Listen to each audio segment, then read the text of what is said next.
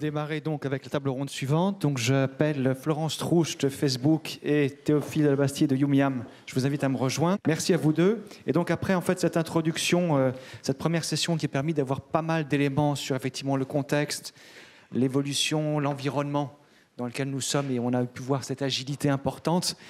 L'idée là, c'était de rentrer un peu plus dans, dans, un vif du sujet avec un regard un peu plus orienté, tel que celui d'un marketeur, et de profiter de la présence de Florence et de Théophile qui ont accepté de se livrer à l'exercice pour essayer de couvrir le sujet avec un peu plus de, verticalité sur ces enjeux auxquels nous sommes confrontés, nous, euh, régulièrement, euh, marketeurs, annonceurs. Donc là, je, mets ma casquette euh, annonceur pour, pour toutes ces questions-là, ou en tout cas responsable de marque, pour échanger avec eux sur tout ça. Alors, on l'avait précisé au début, effectivement, justement, l'idée c'était de ne pas rester installé sur une conformité, mais de pouvoir mélanger effectivement des acteurs. Euh, Florence, tu vas nous parler un petit peu de Facebook euh, et aussi d'Instagram que tu représentes. Euh, Théo, tu devras nous parler un peu plus effectivement de Yumiam, qui est probablement un peu moins connu dans la salle que Facebook. Maintenant, l'intérêt, c'est effectivement de voir comment vous deux, vous allez pouvoir, sans aucun esprit de comparaison, mais au contraire, faire ressortir les valeurs ajoutées euh, et les possibilités qu'apporte chacun de vos réseaux, de vos chacune de vos plateformes, pour qu'on comprenne comment est-ce qu'on peut servir des objectifs de marque en s'appuyant sur l'un et l'autre, l'un ou l'autre, en fonction des enjeux auxquels nous sommes confrontés. Alors, pour commencer sur cette session-là, est-ce que euh, Théophile, tu pourrais rapidement, rapidement, moins rapidement, nous présenter euh, dans les grandes lignes le principe de Yumiam et ce que tu apportes dans le monde du food en digital? Avec plaisir. Alors déjà, merci de, nous avoir invités. Alors, euh, en fait, c'est la plateforme sociale qui réinvente et simplifie notre façon de partager, découvrir et cuisiner des recettes. L'idée de Yumiam, en fait, est née de la vocation de mettre plus de cuisine dans notre vie, euh, étant convaincu que cuisiner plus contribue à mener une vie meilleure, euh, au sens du bonheur, mais également du bien-être, de la protection de la planète, enfin, divers, diverses attentes qui ont déjà été abordées euh, en premier lieu. Et alors, pour atteindre cet objectif euh, ambitieux de mettre plus de cuisine dans notre quotidien, euh, on a mis en place une toute nouvelle expérience qui repose sur des innovations fortes, parmi lesquelles on peut citer notamment le fait de proposer une interface super agréable et intuitive avec un design euh, très important euh, dans l'approche Yumiam, un format de recette qui est différent d'un bloc de texte, c'est un format qui est extrêmement facile à prendre en main, qui est optimisé pour la mémorisation du contenu et pour une consultation sur mobile et sur tablette. Également le fait qu'il y ait une expérience sociale qui soit intégrée au mode de fonctionnement de la communauté pour permettre aux utilisateurs d'interagir entre eux. Et enfin, euh, comme autre point très important, je noterai le fonctionnement intelligent de l'application qui permet de personnaliser l'expérience en fonction de mon profil culinaire, en fonction de mes goûts, de mes allergènes, etc. Pour vous donner un peu de contexte, l'appli Yumiam a été lancée en juillet 2014. Euh, la communauté rassemble aujourd'hui plus de 100 000 gourmands. Sur Yumiam se côtoient des amateurs, des chefs étoilés, des sites de recettes, des magazines culinaires, des blogueurs et des marques. Et donc on y reviendra, mais pour ce qui concerne les marques alimentaires, on met en place des dispositifs qui leur permettent d'être intégrés de façon native et qualitative dans cette expérience au service des utilisateurs. On va voir si tu as été bon avec euh, le nombre de connexions euh, à Yumiam dans les trois minutes qui viennent de passer. Voilà, on a des, blogueurs, blogueuses, euh, cuisine, food, etc. dans la salle, donc pas mal qui pourront tester tout ça, donc c'est une très bonne chose. Florence, alors est-ce que tu peux, tu, viens aussi représenter Facebook, Instagram, mais avec une casquette orientée aussi industrie, food, etc., puisque ça fait partie des sujets dont, tu t'occupes. Est-ce que tu peux nous positionner quand même un petit peu Facebook et Instagram par rapport à cet environnement-là? Bien que l'on sache qu'effectivement, euh, on parle quasiment de tout sur ces deux sujets-là, mais rapidement, comment est-ce que comment est-ce qu'on voit rayonner aussi l'industrie, le food, on va dire, sur ces deux grandes plateformes-là? Alors, j'ai commencé par Instagram parce que c'est un peu plus facile de répondre et je vous expliquerai pourquoi c'est plus compliqué de répondre sur Facebook. Alors, sur Instagram, toutes les, notions de food font partie des dix thèmes euh, privilégiés de la plateforme. Donc derrière, euh, bien évidemment, tout ce qui est euh, célébrité, sport, musique et autres, qui sont des grands thèmes généralistes d'intérêt. Donc ça, on ne va pas le changer, mais euh, le food est à, peu près à la hauteur de tous les sujets type beauté. Donc ce sont des sujets, effectivement, qui passionnent tout le monde, avec des comptes que je vous engage à suivre, par, exemple comme My Symmetry Breakfast, qui est assez drôle, qui tous les matins vous propose une vision un peu organisée d'un breakfast, avec des marques comme Chobani qui euh, choisis des, cas euh, extérieurs à la France pour pas faire d'impair, euh, qui est hyper intéressante dans, sa, dans le traitement, que, la façon dont elle utilise Instagram. Donc oui, bien évidemment, c'est un sujet qui plaît. Donc c'est un sujet dans lequel n'importe quelle marque qui opère dans ce domaine peut s'intégrer. En Facebook, ce qui est un peu plus compliqué, c'est que Facebook, c'est 30 millions de personnes en France, 25 millions de personnes qui se connectent tous les jours. Donc forcément, quand on a 25 millions de personnes qui se connectent tous les jours à la plateforme, tous les sujets, et notamment tout ce qui est fooding, bien évidemment, intéressent. Mais c'est dans cette masse euh, incroyable de connexions, parce qu'en plus les gens se connectent en moyenne 14 fois par jour à leur compte Facebook. Donc de dire qu'on est spécialiste plus du food qu'autre chose, non, c'est, je mentirais en disant ça. On est euh, spécialisé. Tout l'enjeu de Facebook, c'est de vous proposer les sujets qui vous intéressent vous en tant qu'individu. Donc, si vous êtes passionné euh, de nourriture, ça, ou de food, de marque alimentaire, ça, l'outil, c'est le détecter et va euh, naturellement vous pousser des contenus qui ressemblent à ce que vous aimez. Donc, ça sera, enfin, Facebook, c'est du, du, marketing personnalisé à grande échelle. Donc, ça répondra à une, une attente de communauté de gens qui sont intéressés par vos marques euh, ou produits. Alors, euh, sans rentrer effectivement dans la partie liée au format publicitaire, toutes ces questions-là qu'on s'est interdit d'aborder aujourd'hui, si on parle plus de stratégie de marque, est-ce que vous pouvez l'un et l'autre euh, nous expliquer ce que vous pourriez recommander effectivement à des marques qui, par exemple, démarreraient dans le food Et si on prend euh, qui démarrent sur leur marché, des marques food. Et si on prend l'intégralité du marketing funnel, où on est au départ sur une problématique de faire connaître son produit, puis de faire en sorte que son produit rentre dans un set de considération, ou alors quand un produit est acheté de manière habituelle, on a plutôt besoin de travailler sur des problématiques de fréquence, de répétition d'achat, etc. Est-ce que euh, via Facebook et Instagram, par exemple, euh, est-ce que tu peux apporter une réponse qui permettrait d'orienter un petit peu là où la plateforme est la plus forte en fonction effectivement de ces problématiques marketing qui s'enchaînent les unes après les autres dans la vie d'une marque? Est-ce qu'il y a un moment donné où euh, vous avez l'un et l'autre l'impression que vos plateformes sont plus fortes pour soutenir, pour jouer un rôle Tu me diras peut-être que là aussi Facebook peut aller très loin, ou alors Instagram, mais comment est-ce qu'on pourrait créer une aspérité pour aider justement à sortir de, bon, ben, euh, évidemment, il faut que j'ouvre une page Facebook, euh, il faut que j'ouvre un compte, etc. Comment est-ce qu'on peut positionner ces plateformes-là et leur donner un vrai rôle pour répondre à un objectif marketing? Alors là, ça, va être assez simple. C'est euh, effectivement, comme tu le dis, via Facebook, tu peux répondre à tous les objectifs marketing d'une marque. Donc, euh, et on, est capable de faire de la brand awareness jusqu'à de la ici. Donc, on, euh, une stratégie Facebook, elle se conçoit bien en amont. Et là, pour le coup, à chacun des marketeurs de définir quel est le rôle qu'il donne à une plateforme comme, euh, Facebook. Il peut lui donner un rôle de euh, se focuser sur une communauté particulière. Il peut lui donner un rôle euh, de média. Il peut lui donner un rôle de générer de l'e-business.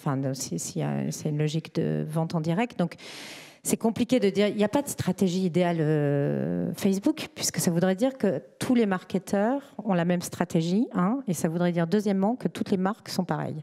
C'est quelque chose auquel on ne croit absolument pas. Il n'y a pas de marketing à la catégorie euh, sur Facebook. On ne va pas dire, bah, quand vous êtes CPG, il faut faire ça, quand vous êtes luxe, il faut faire ça. Ça serait nier mais déjà ne serait-ce que le rôle d'un marketeur. Donc euh, c'est plus se, dire, bah, j'ai dans les mains une plateforme qui peut toucher tous les consommateurs de façon excessivement ciblée, qui permet de les cibler, de les recibler, de les accompagner dans, le purchase jusqu'au bout.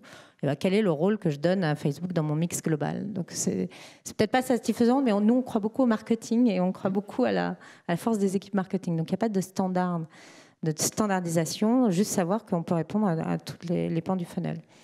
Sur Instagram, c'est plus nouveau, donc la, plateforme, elle est déjà très, très... Elle, est sûrement meilleure dans, la, dans, le côté brand awareness parce que tous les, tous les outils d'accompagnement, notamment d'accompagnement business, euh, on les a lancés il y a un mois et demi. Donc euh, c'est vrai que la plateforme elle est en train de, se roder, monter en puissance sur ces types d'outils. Donc euh, là, ce sera plus sur euh, mettre au cœur de, le, de, la vie, de, enfin, mettre votre marque au cœur de la vie quotidienne de façon sublimée. Ça c'est la promesse de, de, la plateforme Instagram, c'est de partager des moments de vie instantanément de façon sublimée. C'est beau, c'est crafté. donc il y, y, a une notion de de beauté du visuel qui est hyper importante sur la plateforme, parce que euh, c'est très important de la part des Instagrammeurs. Ils attendent de très belles images. Alors le contenu, on en parlera un petit peu après. Mm. Effectivement aussi, c'est un bon point. Théophile, est-ce que toi, tu peux rebondir aussi sur cette euh, première question? Oui, alors sur cet aspect-là, en fait, euh, Yumiam, il faut savoir que se positionne comme un compagnon de vos aventures culinaires, petites et grandes, au quotidien.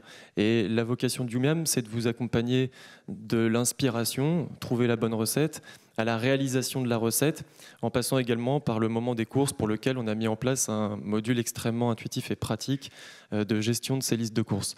Donc à ce titre, Yumiam va avoir un intérêt pour les marques qui se placent dans une démarche de marketing relationnel et qui cherchent en fait à insérer leurs produits et, leur, euh, et donc euh, leur marque dans le quotidien culinaire des utilisateurs euh, en, comptant sur Youmiam pour faire le boulot de la diffusion de leur contenu auprès des bonnes personnes au bon endroit. Et c'est super important d'avoir ça en tête parce qu'en fait, Youmiam sort d'une logique publicitaire traditionnelle pour s'inscrire dans une démarche dans laquelle les marques peuvent et doivent exister puisqu'elles apportent de la valeur à l'utilisateur et qu'elles vont contribuer en fait à l'accompagner dans son quotidien. Donc Youmiam va cibler finalement les besoins des utilisateurs et leur adresser en fonction de ça les bons contenus qui peuvent provenir de contenus d'amateurs et qui peuvent provenir aussi de contenus de marque. Et ensuite, toute la chaîne, j'allais dire tout le parcours utilisateur qui est mis en place et proposé par l'expérience lui-même fait que euh, ma recette va être ajoutée euh, à une liste de courses, euh, l'utilisateur va réaliser la recette, etc. Et dans la recette, au cœur de la recette, il y a mon produit, il y a ma marque, et donc ça me permet de développer des occasions de consommation autour de mon produit et également de créer, de s'inscrire dans une démarche de, proximité et de, brand love auprès des utilisateurs qui sont ciblés sur la plateforme. D'accord, donc le contenu, euh, mot-clé évidemment qui est revenu dans vos deux discours. Alors qu'est-ce que c'est un bon contenu si on veut effectivement bien réussir à raconter son histoire, soit au travers de Facebook, Instagram, soit au travers de Yumiam Comment est-ce qu'on s'assure que l'on mette en œuvre la production d'un contenu pertinent? Comment est-ce qu'on doit jouer cette carte-là? Florence, qu'est-ce que tu peux nous donner comme recommandation pour réussir une expérience de marque au travers du contenu, dont tout le monde est d'accord pour dire que le contenu est roi, que c'est un mm. incontournable, qu'il faut en avoir, c'est bien joli, mais comment est-ce qu'on fait? Et quelle est la, recette du contenu qui fonctionne? Alors ça, c'est la question que nous pose euh, la Terre entière et auquel nous n'avons pas de réponse, puisqu'il n'y a pas de recettes miracles. Mais des recommandations. pour construire un bon contenu. Vous imaginez bien, allez voir vos agences de, création et, posez-leur la question. Elles ne savent pas, pas plus que nous. Enfin, un bon contenu est un bon contenu. Alors après, c'est vrai qu'il y a quand même des. On parle beaucoup d'Internet et on ne parle pas beaucoup de mobile. Donc, donc c'est un terme là que que je mets en avant, j'imagine que vous allez beaucoup en parler cet après-midi, puisque qui dit aujourd'hui euh, euh, digital dit euh, que c'est mobile first, mais plus que mobile first. Et là, pour le coup, je dirais que souvent, malheureusement, les marques, les marketeurs, et voire nous, nous-mêmes en tant que plateforme, hein, Facebook et, Instagram, on est en retard par rapport à l'usage que, font les, consommateurs de, Internet. Aujourd'hui, c'est largement le mobile et le premier écran. Donc déjà, tout bête, mais vraiment bête comme chou, un contenu qui ne peut pas être visible sur la taille d'un écran euh, mobile est un contenu qui va avoir un peu de mal à être euh, tout simplement regardé parce qu'il y a un confort visuel dans un écran, dans un écran mobile qui n'est pas celui d'un écran cinéma. Donc c'est moi ce que je dis toujours à mes amis marketeurs, c'est demander à vos agences de créa de vous présenter votre, les premières créations sur un écran mobile puisque c'est là qu'elles vont être découvertes en premier. C'est pas valable uniquement sur Facebook et Instagram. Hein.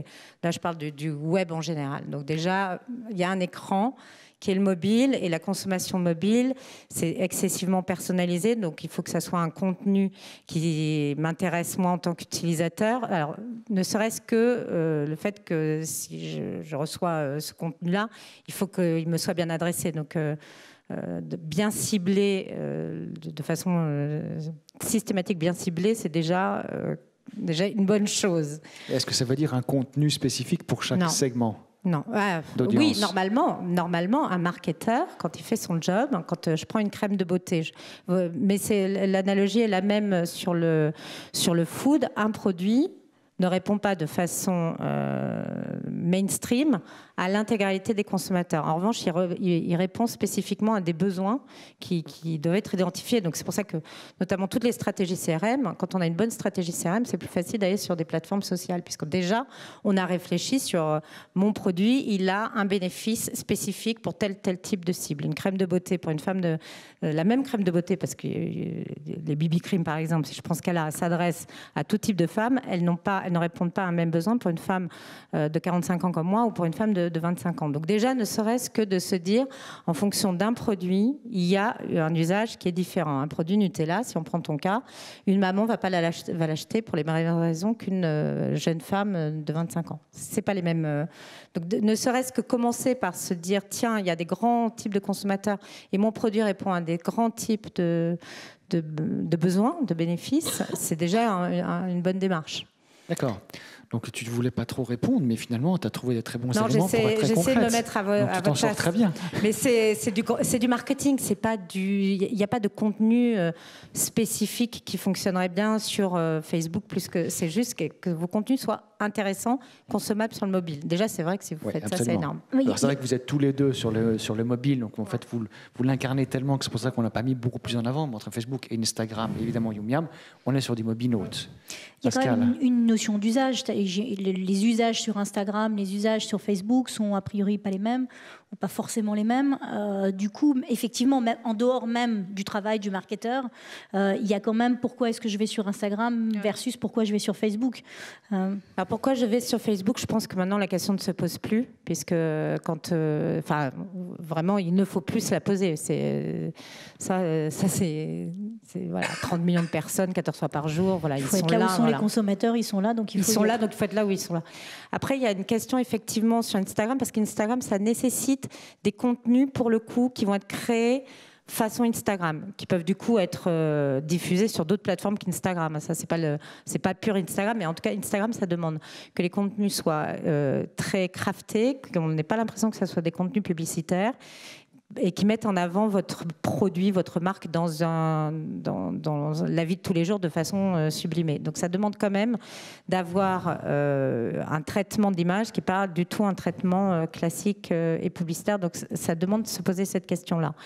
Donc, si on n'est pas capable de pouvoir exprimer et de créer son expression visuelle sur imaginez que votre marque soit un individu et qu'elle elle se mette en scène comme vous, vous vous mettez en scène en tant qu'individu tous les jours sur ces jolies plateformes. Si vous savez pas le faire, c'est vrai que c'est vaut mieux faire attention parce que sur Instagram, les gens unfollow très rapidement et à la différence de Facebook, où vous suivez une communauté de gens que vous connaissez, sur Instagram, vous allez suivre des gens que vous ne connaissez pas forcément.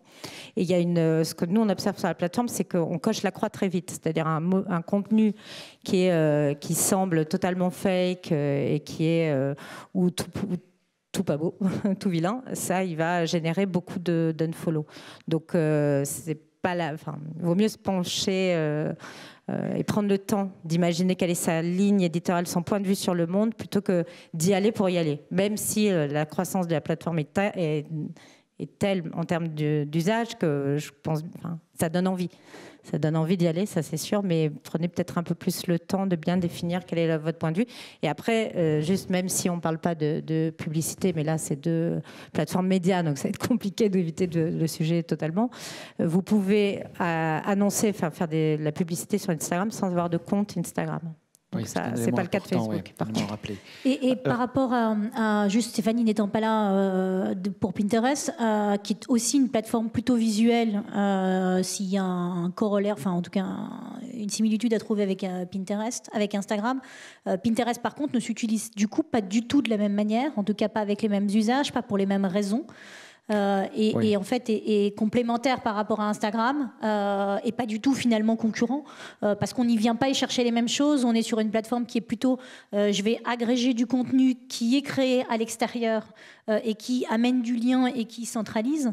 on est plutôt sur du contenu froid sur Pinterest, on est plutôt sur du contenu chaud sur Instagram, même si, alors à la différence de Facebook pour le coup, le contenu sur Instagram, du coup, j'imagine, enfin en tout cas pour mon usage euh, on, descend euh, assez régulièrement sur des anciens contenus. Oui, parce qu'il n'y a pas d'algorithme encore sur euh, Instagram. tout à fait.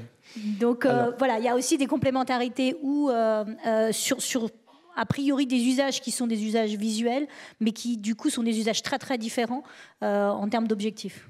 Oui, complètement. Mais je crois que Guillaume, toi, tu, tu, oui, tout à fait, absolument. mettre le oui, oui c'est vrai qu'il fallait effectivement penser à, rappeler que le, on avait presque une approche qui était très euh, très fortement orienté, complètement à l'opposé dans la mesure où effectivement, quand mm. on est sur Instagram, le but n'est pas effectivement de faire venir tout le monde sur ses boards, mais beaucoup plus de s'assurer que tous vos contenus sur votre own média sont disponibles pour voyager, pour s'exporter. Donc on est vraiment dans, un, dans, une direction qui est complètement différente, avec un principe et une valeur qui est aussi très différente, mais on ne joue pas du tout euh, la, chose dans, dans, le même sens. Et c'est pour ça que c'était intéressant de les avoir tous les trois, pour pouvoir comparer effectivement ces approches qui sont intrinsèquement différentes.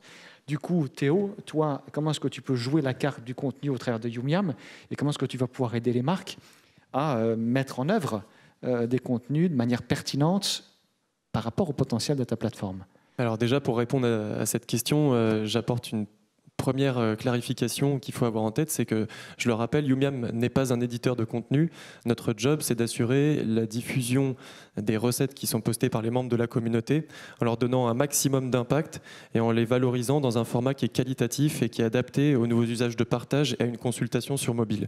Donc, ayant ça en tête, les marques peuvent être assez détendues dans leur approche euh, sur Yumiam parce qu'on se charge de donner à leur contenu la forme qui convient d'avoir pour être diffusé de la bonne façon. Ensuite, on se charge aussi de faire que ce contenu soit diffusé auprès des bons utilisateurs. Et donc finalement, on peut, en fonction de sa stratégie marketing, choisir de s'inscrire dans la tendance, par exemple, mais ça ne veut pas dire que celui ou la marque qui va proposer des recettes qui sont des grands classiques euh, aura moins d'impact parce qu'il s'agit justement de couvrir toute la diversité des envies, et Dieu sait qu'elles peuvent être euh, variées, des utilisateurs dans leur approche de la recette.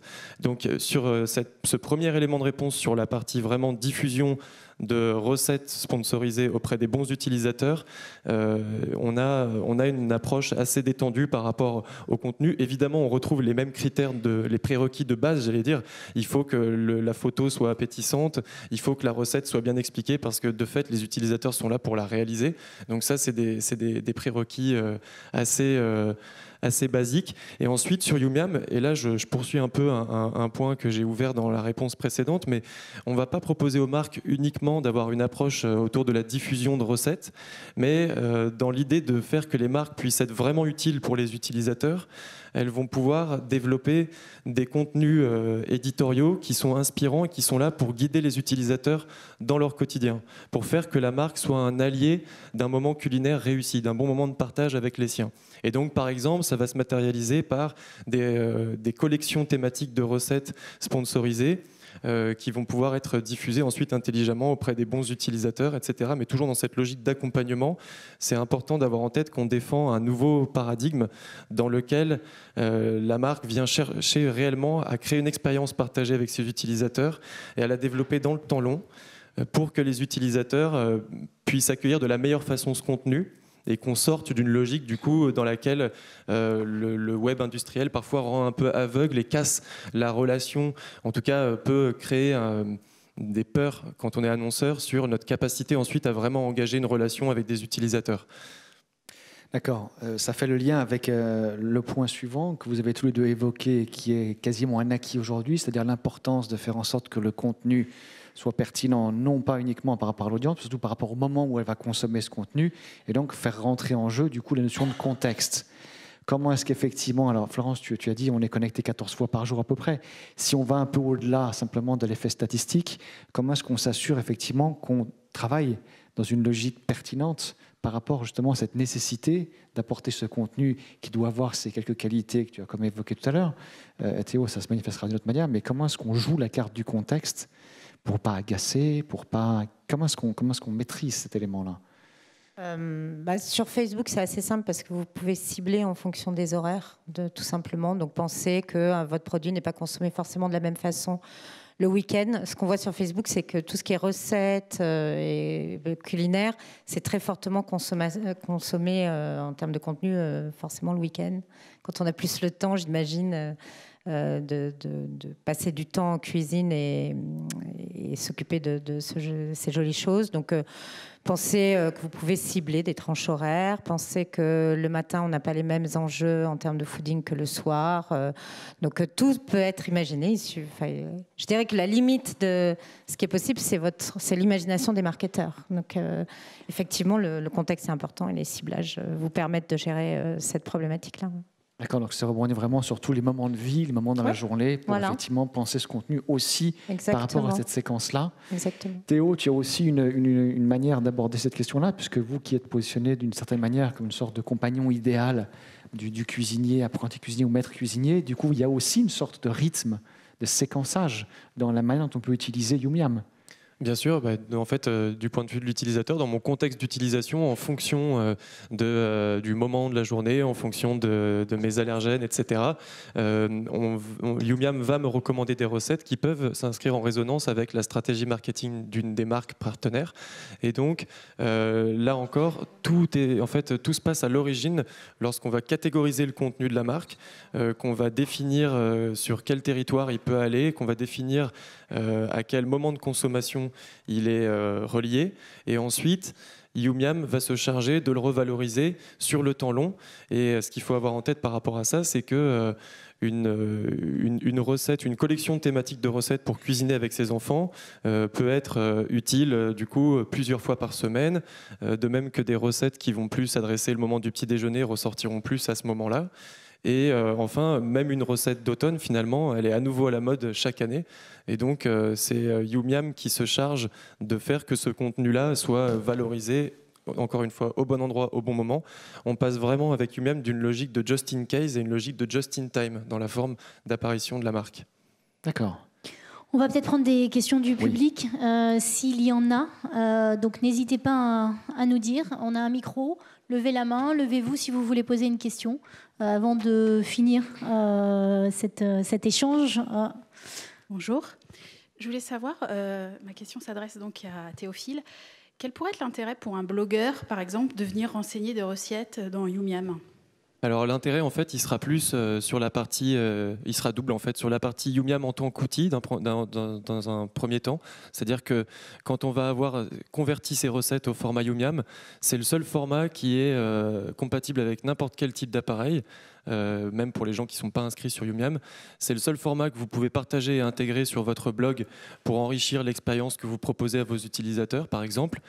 Et euh, ensuite, il va y avoir une autre dimension qui va être euh, encore plus renforcée dans le temps à mesure que la communauté va croître, mais qui est déjà à l'œuvre, qui est que vous allez avoir en plus une communauté active de supporters sur la plateforme, avec votre contenu qui va être valorisé auprès des, des, utilisateurs, et, que, et ainsi, du coup, des utilisateurs qui vont pouvoir vous découvrir, s'abonner à votre profil, ajouter vos recettes à leur carnet. Et euh, du coup, on remarque que Yumiam sert aussi de levier euh, de, diffusion euh, sur la plateforme, en plus de ce que vous allez pouvoir en faire sur vos propres médias par ailleurs.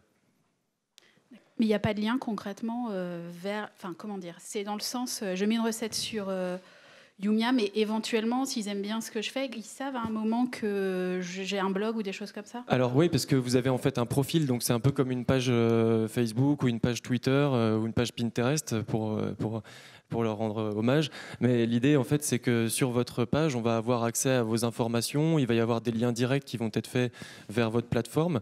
Et de notre côté, nous, euh, et ça c'est complètement gratuit, on met en avant le contenu par des dispositifs d'email, on le met en avant via des notifications push, etc. Et donc c'est un moyen assez puissant finalement de faire découvrir votre, votre passion euh, et votre talent euh, à des utilisateurs qui vont ensuite engager avec le contenu et être amenés du coup à vous découvrir. En plus du fait que vous améliorez améliorer l'expérience de vos utilisateurs existants sur votre plateforme en leur proposant un format qui est optimisé pour leur mobile, etc. Merci. Merci à vous. D'autres questions, Christophe? Oui, bonjour, donc euh, Christophe Marmiton. Euh, petite question pour Florence de Facebook, Instagram. Quand est-ce qu'on aura la possibilité, comme, le, comme on le, donne à certaines personnalités, de poster des vidéos en live sur Facebook? Parce qu'on attend tout ça. Bah ouais, ouais, je suis d'accord avec vous. je sais pas. Je sais pas, parce que ça cartonne. Hein. Il y, a un nombre de vues qui, sont incroyables. Et c'est ce qu'on voit. Donc, euh, donc j'espère, comme vous, euh, que, c'est quelque chose qui sera ouvert aux marques. la, la, grosse nouveauté, là, c'est les 360 degrés. Les vidéos 360 degrés, là, c'est, là, c'est sûr que c'est ouvert aux marques. Et, donc, dès le début de l'année, euh, amusez-vous à, avoir cette expérience, parce que quand on pense à, la cuisine, on peut très bien imaginer des recettes filmer 360, ça peut être très joli, ça peut, être, ça peut aller plus loin que le pas à pas euh, classique. Merci mais beaucoup. Ouais, mais oui, le live, on attend. Et une autre question au fond de la salle. Bonjour, Laura Anhart de Maman Chef. Je voulais savoir une, question qui s'appelle, qui s'adresse pardon à Théophile. Bonjour. Bonjour, euh, j'ai un blog qui est dans les choux. J'ai l'intention de le refaire. Est-ce que si je veux me linker vers votre type comme votre plateforme, est-ce que toute technologie peut s'adapter à votre ergonomie ou est-ce qu'il faut réfléchir en amont? Non, en fait, euh, vraiment, euh, Yumiam s'adapte à, toutes, les, toutes les technologies. Donc, euh, si, vous, si vous créez votre page dans le cadre de cette refonte, vous pourrez convertir des recettes existantes dans notre format et ensuite les intégrer comme en copiant-collant simplement le code de la recette chez vous. Ok, c'est-à-dire que les images, tout ça, ça, sera responsive entre une plateforme et une oui, autre. Oui, oui, parce qu'en fait, quand, vous, quand, un utilisateur consulte euh, une recette Yumiam au format mobile, elle se lance immédiatement en plein écran dans son téléphone, dans un format adapté à la taille de son mobile ou de sa tablette. Ok, je vous remercie. Merci à vous. Une autre question devant? Bonjour, Mélodie Braca, Action Gourmande. Ma question s'adresse à Florence. Euh, pour les marques ou les établissements qui veulent se lancer sur Facebook, euh, quels conseils vous donneriez pour utiliser de la publicité? Euh, Écoutez, le, premier conseil, c'est bah, déjà ayez une, une, stratégie de, enfin déjà ouvrez votre page. Ça, ça paraît pas débile, mais, mais c'est quand même obligatoire parce que vous pouvez pas annoncer sans avoir de page. Euh, et ensuite, c'est euh, comprendre bien les ciblages qui vont derrière être performants pour vous. Donc, tester plusieurs types de ciblage. Il y a plus de 400 000 agrégats de critères, c'est-à-dire qu'il y a 4 millions de critères de ciblage. Donc, il y a plein, plein, plein de ciblages différents. Tester, ceux qui sont le plus réactifs. Puis après, je ne connais pas votre business. Si vous êtes du très local, il y a des formats euh, pour gérer euh, le local. Si vous, enfin, tout dépend de votre, euh, de votre business en lui-même.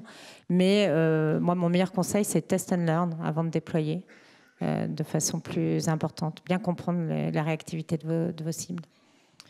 J'ai une deuxième petite question. Il y a un super site, hein, c'est Facebook for Business. vous allez dessus et vous avez tous les conseils pas à pas pour gérer votre euh, stratégie Facebook Je peux rebondir sur, euh, sur la réponse. Donc, par rapport à ce que vous venez de dire, est-ce que vous ne pensez pas que c'est difficile aujourd'hui d'avoir du contenu naturel et en même temps de lier la publicité sur Facebook? Non. Enfin. Enfin, je dis non parce que je, je, travaille avec énormément de grandes marques. Peut-être que quand, enfin, je ne connais pas votre business. En fait, ça, tout dépend de vous-même, votre capacité à administrer euh, effectivement des stratégies de contenu. Et là, ça dépasse vraiment même euh, Facebook et Instagram. C'est est-ce que aujourd'hui vous avez la capacité d'aller euh, engager une relation directe avec vos consommateurs et ça passe par du contenu, ça passe par du visuel. C'est le, visuel maintenant, c'est le langage archi dominant. Donc effectivement, faut se poser cette question-là. C'est est-ce que j'ai la capacité d'entretenir une relation qui soit basée sur le visuel? Et euh, après, derrière, vous pouvez avoir une page euh, que vous, vous n'animez pas de façon hyper fréquente. Il faut juste 98% des gens sont sur leur newsfeed chez Facebook, ils vont pas sur les pages. Donc ça, ils vont pas. Instagram, c'est un peu différent. Ils vont encore sur les pages. Donc c'est s'insérer dans le, contenu. Après, vous pouvez ne faire que de la publicité si vous n'avez pas les moyens d'animer euh, des contenus. Et ça, c'est du archi classique, sauf que c'est pas un outil presse, c'est pas une, c'est pas une télévision, c'est un newsfeed Facebook. Donc c'est, euh, je dirais que c'est plus quelle est euh, votre capacité vous à suivre derrière, mais une page n'a pas besoin d'être animée tous les jours euh, en permanence pour exister. Merci, merci. Merci pour ces Florence, questions. Merci, Théophile. Merci à vous. Merci deux. à vous. Il Merci. faut qu'on surveille le temps pour les autres panels. Merci Absolument, beaucoup. merci beaucoup. Merci.